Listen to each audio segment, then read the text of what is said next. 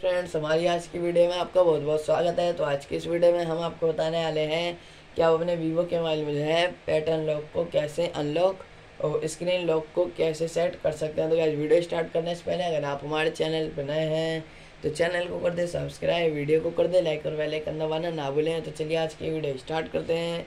तो गाइज़ सबसे पहले आपको अपने फ़ोन के सेटिंग को ओपन कर लेना है। गैज इसके बाद आपको यहाँ पर जो है सिक्योरिटी का ऑप्शन दिख जाता है। तो गैज आप जो है इस पर सिंपली क्लिक कर देंगे।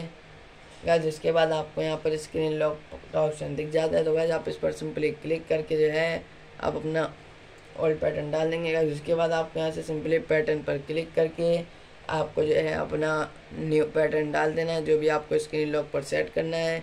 तो गैज आप कुछ इस तरीके से जो है स्क्रीन लॉक को सेट कर सकते हैं वीवो के मोबाइल में कुछ इस तरीके से। तो गाइज़ हमारी आज की वीडियो यहीं पर समाप्त होती है। अगर आपको हमारी वीडियो पसंद आए तो वीडियो को कर दे लाइक चैनल को कर दे सब्सक्राइब और वेलाइकन दबाना ना भूले और थैंक यू